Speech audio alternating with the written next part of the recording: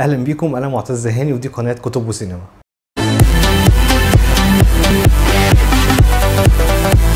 في خدمات كتير موجودة أونلاين بيبقى في ناس عايزة تشترك فيها ويعني بتحس إن أنت عايز تحط فلوسك في حاجة فعلا تعتبر استثمار يعني الخدمة تكون جيدة ما ترميش فلوسك في الهواء.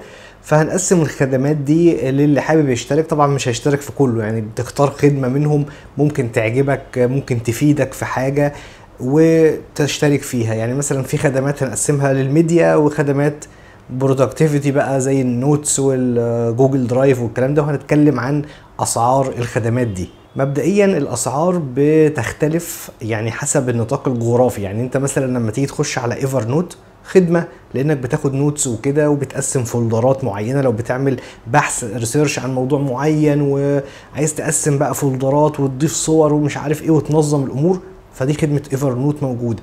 وطبعا ليها منافس كل خدمة ليها منافس free يعني انت ممكن حد يقول لك اشترك في Evernote ليه وأنا عندي Google Keep ومجانية أهي. دي ليها مزايا ودي ليها مزايا. فطبعا بيكتب لك السعر مثلا إن هو آه 8 دولار شهريا.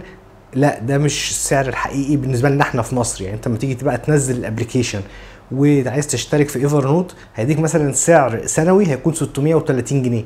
يعني مش مش 8 دولار شهريا آه خالص. سعر مختلف عن كده تماما. فأول خدمة معانا هي Netflix. Netflix يعني بالنسبة لكله هي سعرها 8 دولار. 7.99 8 دولار يعني. ده اشتراك ليك لفرد واحد. يعني مثلا أنت لو فاتحه فيه تلفزيون smart ما ينفعش في نفس اللحظة تفتحه في تلفزيون smart تاني أو على اللابتوب. هيقول لك لا أنت فاتحه خلاص أنت ليك إيه يعني حساب واحد وتشتغل عليه. وفي حساب تاني أغلى من من الثمانية كنت تقريبا 11 وحاجة. ده family ده حساب family يعني ممكن مثلا كذا فرد يفتحوا Netflix ويشوفوا حاجات مختلفة في نفس الوقت. طبعا Netflix يعني ليها مزايا كتير. واحد يقول لك ما الأفلام مرمية مثلا اونلاين طب وأنا أشترك في Netflix ليه؟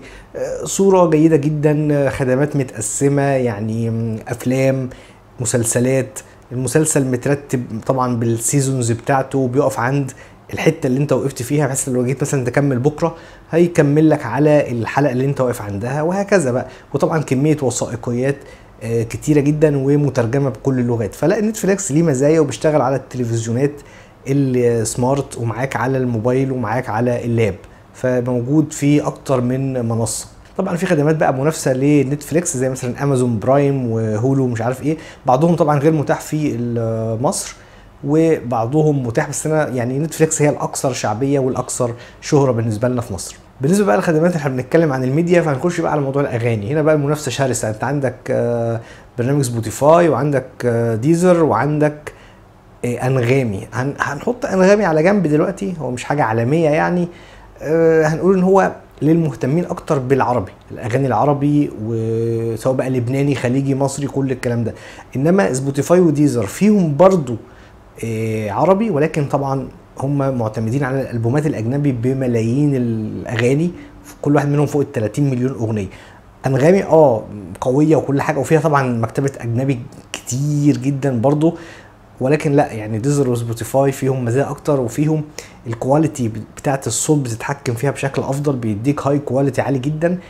Spotify فيها خدمة إن أنت في حاجة اسمها connect to devices يعني لو عندك smart TV أو عندك أو فاتح مثلا Spotify على اللابتوب بتاعك من خلال الموبايل تتحكم في Spotify اللي على اللابتوب أو في Spotify اللي على التلفزيون. فدي برضو خدمة يعني جيدة ولكن جودة الصوت بتتحكم فيها من ال settings يعني سواء بقى low أو كذا لحد ما توصل ل high quality عايز تعمل data saver وتوفر خالص لو أنت مثلا هتفتح أغاني في عربية. وهتوصل بالباقة بتاعتك بالنت. ولكن مش عايز بقى high quality عشان ما يسحبش من الباقة. اعمل data saver هاي مش هيسحب منك إلا قليل جدا من الباقة مهما كان يعني طول مشوارك. كل خدمة من دول هي أسعار منافسة. برضو هتلاقي الأسعار في مصر كله ب 50 جنيه أو في حدود ال 50 جنيه شهريا. Google Drive بقى يعني Google Drive هي خدمة سحابية. طبعا اللي ليها برضو منافسين كتير بس أنا بفضل Google Drive خدمة سحابية موجودة بتحط عليها ملفاتك. على ال cloud بدل مثلا ما تبقى حاططها على اللاب أو على كذا وخايف تضيع أو على فلاشة فأنت حاططها على ال cloud مثلا إيه بتديك مثلا هنقول ال 200 جيجا بسعر 300 جنيه في السنة. هيبقى كأنك ماشي معاك فلاشة 200 جيجا في جيبك. تحط عليها بقى ترفع عليها حاجاتك من الموبايل ترفع عليها حاجتك من اللابتوب في حدود ال 200 جيجا. عايز أزيد فيه طبعا في كل الأسعار مكتوبة في تيرا وفي مش عارف 2 تيرا وفي أرقام كتير فوق يعني للشركات بقى مش عارف 30 تيرا ولا إيه. أرقام طبعا دي بقى لملفات آه، شركات كبيرة.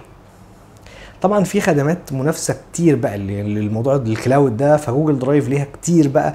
عندك Box وعندك Dropbox ويعني و Microsoft OneDrive ففي خدمات كتير قوي منافسة في موضوع الخدمة السحابية. بس هي مهمة للي عايزين يحافظوا على ملفاتهم الهامة جدا وثائق مثلا أو بتاع مش عايز تحطها في على على هارد أو على فلاشة أو على كذا خايف ملفات حساسة ممكن ترفعها على ال cloud وتختار خدمة من الخدمات دي.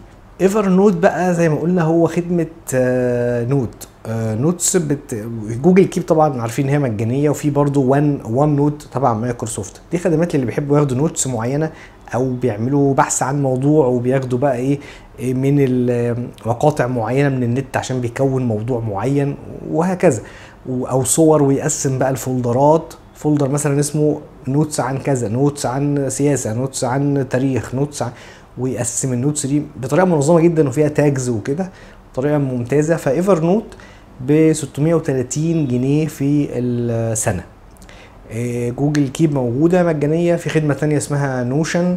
في خدمات كتير جدا في موضوع ال notes ده بس أنا يعني إيه برشح لكم الكبار بقى. ال top هنقول إن ال top Google Keep و OneNote من مايكروسوفت.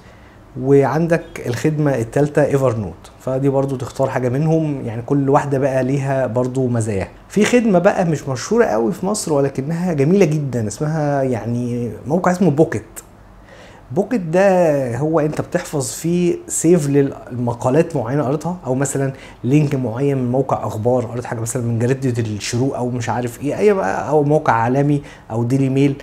link معين عجبك وعايز تحفظه. بتنزل extension كده على Google Chrome وتقول له save to Pocket أو من الموبايل. كذا save to Pocket بيتخزن عندك في ال Pocket ال application بتاع ال Pocket ده وتعمل له tag معين وتحطه في folder وهكذا. ولو دفعت فيه فلوس هو ده موجود مجاني. كل حاجة من الخدمات يعني اللي هي ال notes والكلام ده بتبقى فيها مجاني وفيها خدمة بفلوس. فالمجاني موجود وهتحفظ مقالاتك كلها وهتقسمها وكده.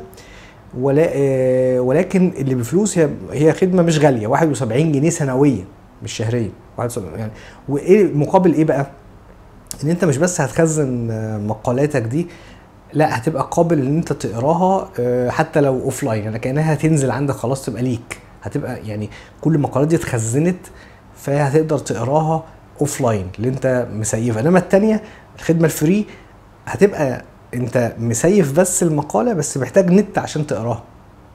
فهو ده الفرق. يعني إنما الاثنين بتقدر تقسمهم وتنظمهم وتعمل لهم tags وكده. فهي خدمة يعني برضو من الخدمات المفيدة جدا هي Pocket من الخدمات برضو اللي بيحتاجها البعض آه، مش كتير. يعني في ناس طبعا بيحتاجوها اللي بيسافروا كتير.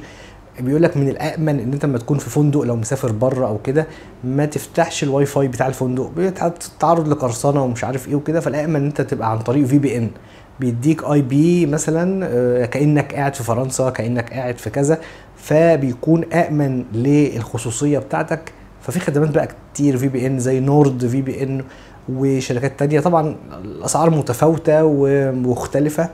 وكمان بالإضافة غير موضوع الفندق واللي بيسافروا لا اللي بيفتحوا المواقع اللي هي المحجوبة. في دول كتير بتبقى حاجبة مواقع فخدمات ال VPN بتفتح لك المواقع المحجوبه فلو دورت على Google Play على موبايلك وكتبت VPN هتلاقي طبعا برامج كتير جدا هتختار واحد منهم. كده كده ال free خدمات ال free في ال VPN بتديك سعة معينة. يقول لك 500 جيجا آه، 500 ميجا جيجا مش عارف إيه. أرقام صغيرة اللي أنت تقدر تفتح بيها ال- المواقع المعينة أو تفتح يعني من خلال IP كأنك في فرنسا أو في دول تانية. ولكن لو خدت بقى من خدمة من اللي هي بمقابل مادي فهتبقى الموضوع unlimited وعيش حياتك بقى وافتح ميديا واعمل اللي انت عايزه في أي موقع محجوب. فيعني هي بتبقى ساعات أسعارها غالية شوية مش كتير بيحتاجوها ساعات ممكن تحتاجها شهر معين وتفصل بعد كده مش لازم تاخد اشتراك سنوي. فيعني دي خدمة برضو من الخدمات اللي بتهم البعض. ودي كانت حلقة النهارده عن بعض الخدمات اللي هي يعني سواء ترفيهية زي مثلا قلنا Spotify زي Netflix زي غيره أو خدمات notes أو حاجات للي بيهتموا بتنظيم المقالات أو بحث عن موضوع معين عشان يستخدموا مثلا Evernote ويا رب تكون الحلقة عجبتكم وأشوفكم على خير إن شاء الله في الحلقة الجاية. مع السلامة.